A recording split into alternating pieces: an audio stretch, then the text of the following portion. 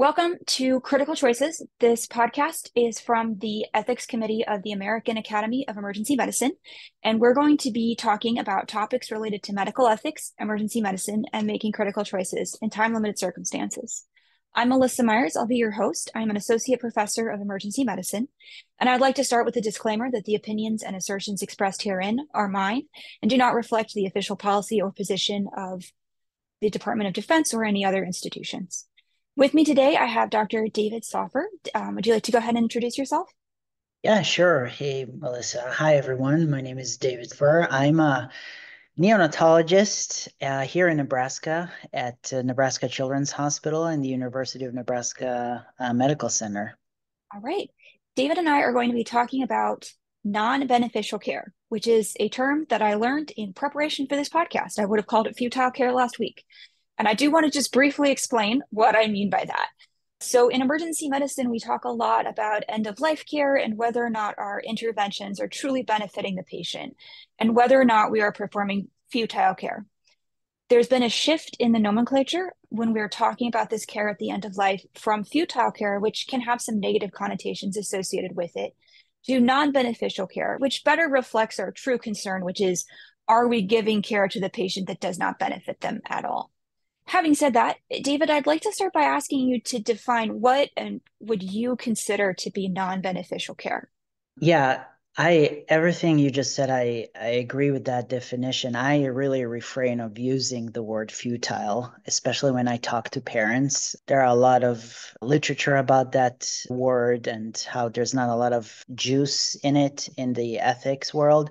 So yeah, I use unbeneficial, but I also use sometimes I also say inappropriate intervention as well.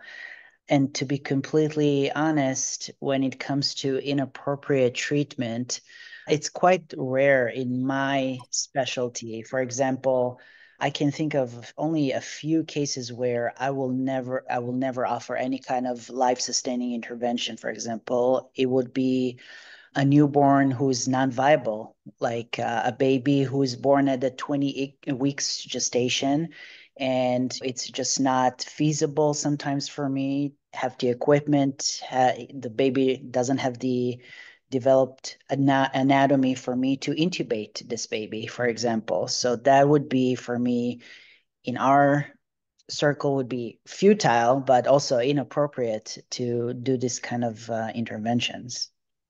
Okay, yeah, and that's so far outside the, the general practice of me as an emergency physician. Yeah. So when you say in inappropriate, you're really talking about care that you think isn't going to change the course of the patient's disease at all. Is that yes, roughly correct? That and my concern is that obviously it will cause more harm than benefit to the patient. In preparing for this podcast, I read an article on they called it futile care, so I'm going to call it that just when referencing this article and they talked about non beneficial care as being a class of therapies that physicians could withhold regardless of patient and family wishes.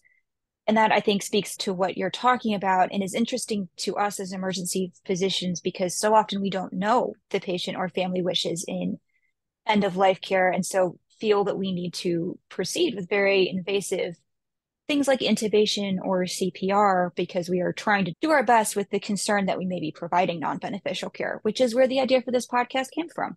Yeah, Melissa, I don't envy you, honestly. I rarely have this kind of scenarios, so I can't even imagine what you guys, you and the other emergency docs are facing with. It's sometimes, I, I honestly admire that that you need to make those decisions so rapidly and also live with those decisions so it does get interesting sometimes. Yeah. One of the things that, though that I wanted to talk to you about because we've talked, Dr. Soffer and I are both in, in a master's degree in bioethics, and you do get the chance to talk to families, and I think that we could probably learn something from that. And I wanted to ask you about it. How do you approach conversations with families about care that you think is inappropriate or non-beneficial? It depends on the luxury of time that I have at that specific case. Just unlike, like I said before, you might not have the luxury of time that I have in the ER, but for me, sometimes I have this, I have a parent who is in about to imminently deliver a peri-viable baby and at 22 23 weeks where things are vague in terms of how much are we willing to do and uh, pursue life inter- uh, life sustaining interventions while mom is at delivery in pain. She's super stressed. Dad is about to pass out and there's and we need to make some sort of a decision. So the time could be definitely like a, a factor. And each parent honestly at the moment of time will say they want to pursue any type of life preserving interventions.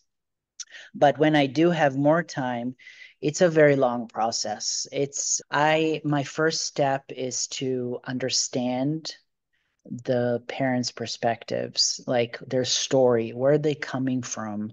What do they know about their child's disease? How much do they know? And I try to detect gaps in knowledge during that time to make sure they're well informed about their child's condition. That would be my first step. And based on what they tell me, the next step would be to express my concerns about the, their certain wishes about a certain intervention they want us to do or even a study that they want us to do. One of the concepts that gets talked about sometimes by emergency physicians is in end of life care. Generally, we're doing end of life care at the very opposite end of the age range. But there's a similar, there's something similar there in that families will often, when death is coming, revoke hospice and ask you to do everything because it's very, it's a terrifying moment, I think, for everyone. And there's can sometimes have this feeling of being co-opted right? We want to respect the patient and family autonomy but at the same time there's this sense of i am perhaps doing something that feels unethical. I don't think that this procedure is going to benefit the patient. Right. how do you draw the line there between respecting the autonomy performing procedures in line with the patient's wishes and then drawing a line when you're like no this is no longer at all beneficial yeah. So thankfully, it's a little bit different in pediatric medicine because you just said respecting the family autonomy, but there's our, as our greatest duty is to our patients' benefits. And if I do see clear cut requests or wishes that I know will cause harm to the patient and it's not gonna give any resolution to the underlying condition to the, that patient has, it's either I will find the middle ground where I have a discussion with the parents, you want this to be done, but these are my concerns about that. How about we do instead of A and instead of what I think should be, let's find a mix of it, find a middle ground and do C and see if we see any beneficial outcome out of it. And if so, we can move towards your wishes and doing maybe something more aggressive or moving on for the next procedure that might benefit that patient. So it's very individual, but the extreme cases, I would be very paternalistic. And I said, we are not doing, we're not going to do that. I've done that. I can count on one hand, but yeah, that happened. So that's that actually answers what I had up next was what do you do when the parents are requesting a procedure that you feel is harmful? And it sounds like you're saying you feel ethically obligated to step in and protect the patient from an inappropriate or painful procedure with minimal or no benefit. If I do have a lot of time, I would also consult the ethics committee. Without going into case details, can you give an example of a procedure which you might decline to perform? I don't do the terrifying tiny little people very often, so I don't necessarily have a good idea of what kind of procedures might come up for them. Yeah. For example, I'm just trying to think clear. The problem in my field is that it's such a rapidly developing field that what we once thought was one condition was incompatible with life people really challenge certain conditions, those conditions, and challenge that self fulfilling prophecy that by doing something and then we long and behold they're not dead they're alive and they actually they survive for a month, a year, a few years. For example, trisomy 18, trisomy 13 newborns. I don't know when Dr. Myers, when you were a medical student, uh, I, when I was taught about trisomy 18, 13, or also during residency, we would not offer anything. We would just offer palliative care for those infants because we considered them to be incompatible with life. Nowadays, that's not the standard of care. And we do offer heart surgeries, tracheostomies, G tubes. That paradigm had shifted. And same goes for neonatal dialysis. We did not used to do them at, during my fellowship. Never. I can't even remember of one occasion when I had the newborn who I hooked him up to a dialysis right away. That nowadays we do. There's a lot of paradigm shifts. So it's really hard for me to think of a clear cut case. The one thing I still I can still think of is maybe an infant with anencephaly that is born and parents request certain life-sustaining interventions and i would still strongly believe that we should not do anything of that sort and let him or he or she die peacefully. And just for my knowledge anencephaly is a child that's born without a cerebellum is that correct? It's been quite some time since i thought about that. A cerebellum, cerebellum. yeah. Okay. They still have a brain stem so they can still stimulate a breath but obviously it's they essentially have no sense of consciousness. They're comatose in a way so mm-hmm. that's how they're born. So yeah. Interesting. The last kind of neonatology specific question i have for you is one of the things that we talk about in emergency medicine is advanced directives and they're unfortunately not as useful to us as we would hope. So patients will come to the ed and they have no paperwork and they've come from home and you have to assume they want everything because it's very difficult to reverse death. You can take and can take an endotracheal tube out. You can't fix it if you chose not to intubate. And then the family comes in with the advanced directive and it says DNI. And you're like, that's fun. Or they come in with an advanced directive that doesn't address the situation you're in. Is there anything similar in the world of neonatology? Since they're born and live in the hospital, I'm honestly just curious what um, paperwork goes into this?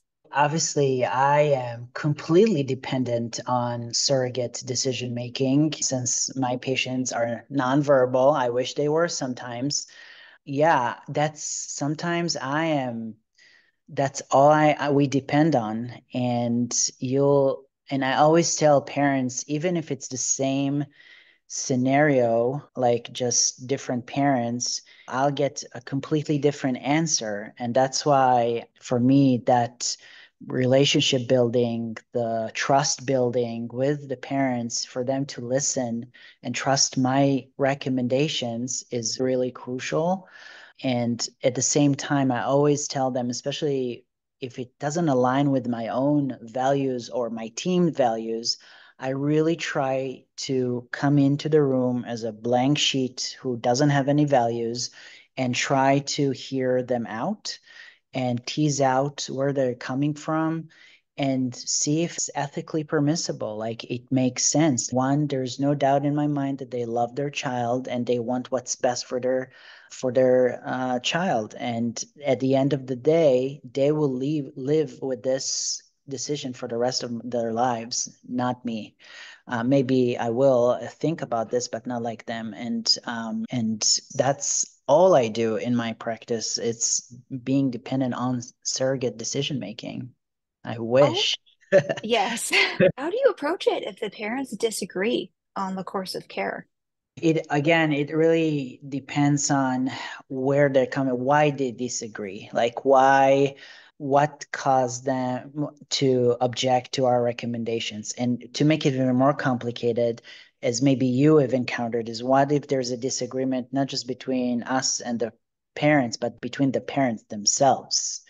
Mm-hmm. And that gets tricky. And we I it's it's an ongoing discussion. It's just sometimes though we I'm not going to be like delusional and think and just, and I will never follow uh, parents' wishes if I know for sure that's not going to be beneficial and it's not going to reverse that child's medical condition that I will advise, consult the ethics committee.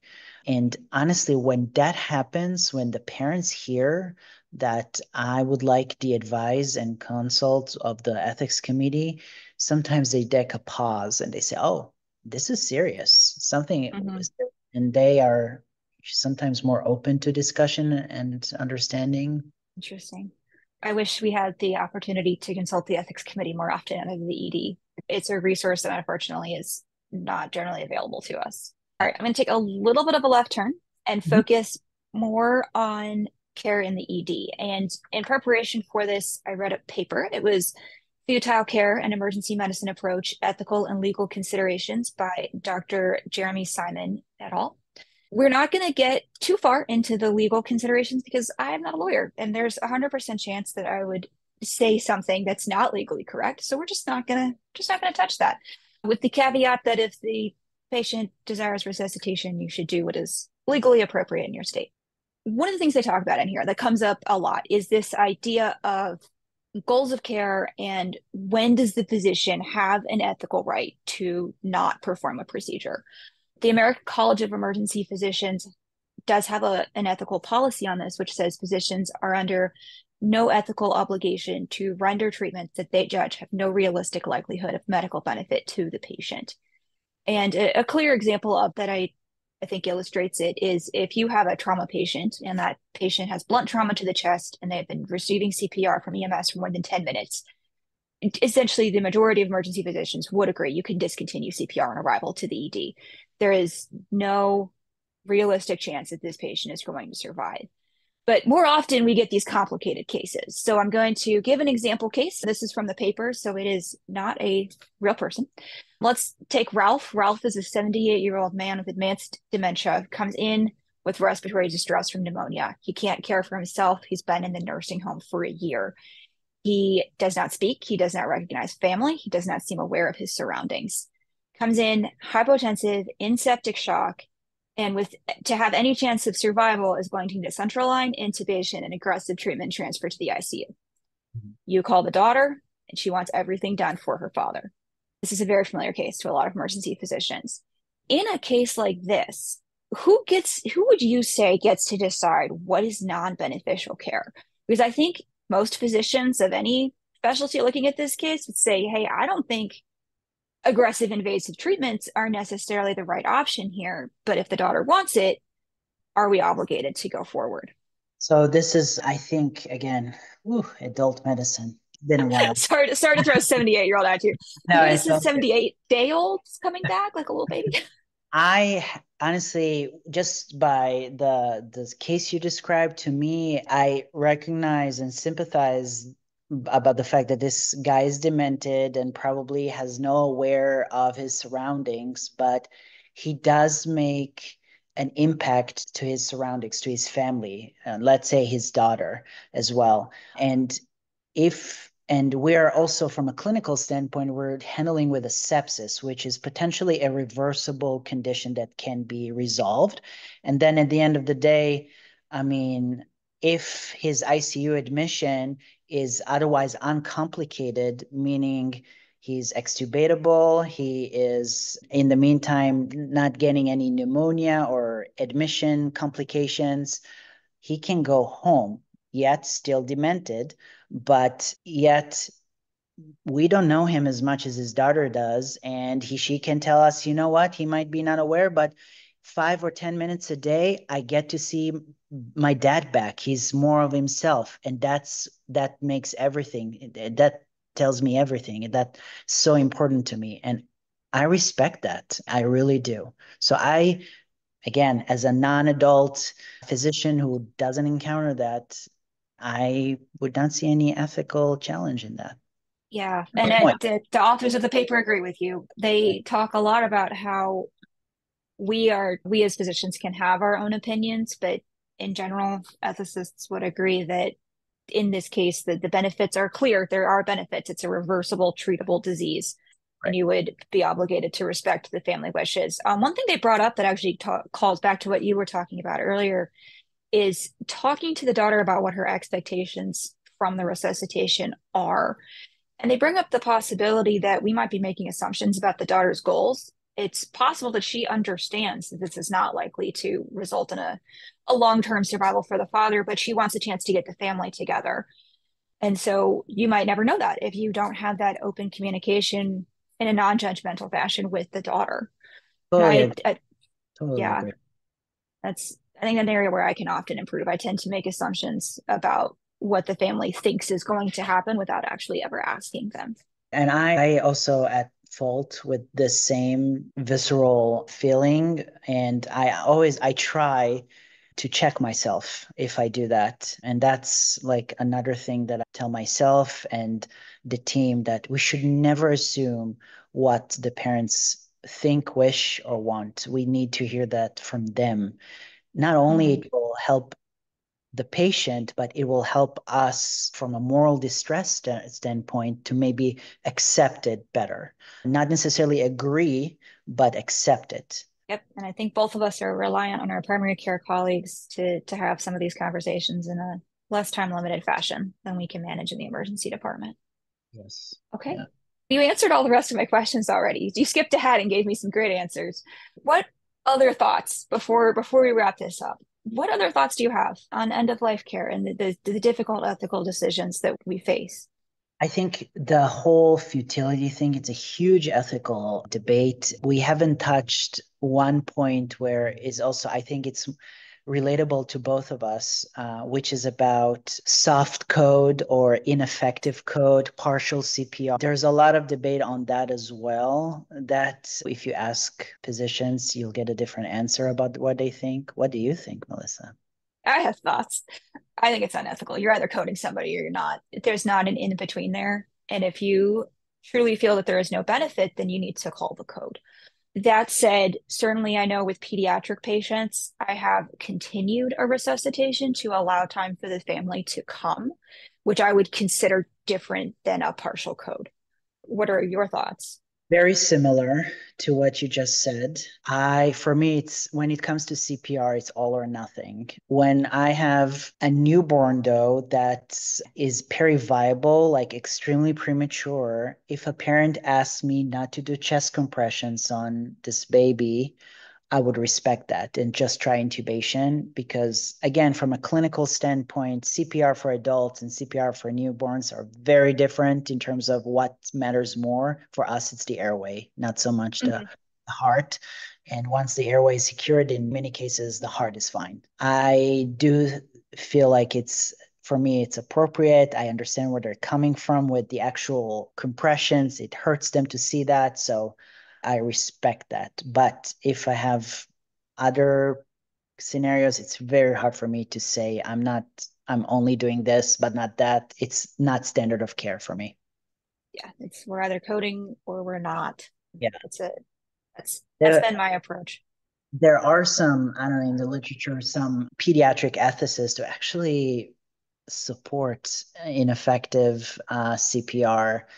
And I just, it, I can name a few. Dr. John Lantos, for example, or uh, Dr. Uh, Robert Truog from Harvard. They made really nice commentaries in many journals about that. And I have to say, no matter what kind of angle they give it, I just, I, I don't buy it. It's just, they really focus on the family benefit. And Mhm. I'm sorry, I just, I can't get over the fact that yes, I care about the family, but I care more about the cold truth is I care more about the patient. Your primary ethical duty as a physician is to the patient, which in your case is the child, and in my Yes. case is sometimes a child, but it is often an an adult. Um, Yeah. Yeah. That's the only challenging. thing I, I wanted to touch because that's also under the umbrella of Yes, and certainly I know we don't so we don't do CPR on penetrating trauma anymore because there is no benefit to it. But it's not because we're not going to resuscitate the patient. It's because we've shown it's probably the most controversial thing I'm said. I'm going to get angry emails, but I don't see a benefit to CPR in penetrating trauma. The benefit is the chest tube and, and cutting open the chest and performing the procedures. All right. Thank you so much, Dr. Saul, for for coming on this podcast. This has been Critical Choices from the Ethics Committee of the American Academy of Emergency Medicine. We will be putting an episode out approximately every two months, and our next episode will be an interview with Wes Mondago, who will talk be talking to us about potential roles for palliative care in the emergency department as a follow on to this conversation about non beneficial care at the end of life. Thank you so much. Thank you, Dr. Myers, for inviting me. It was a lot of fun.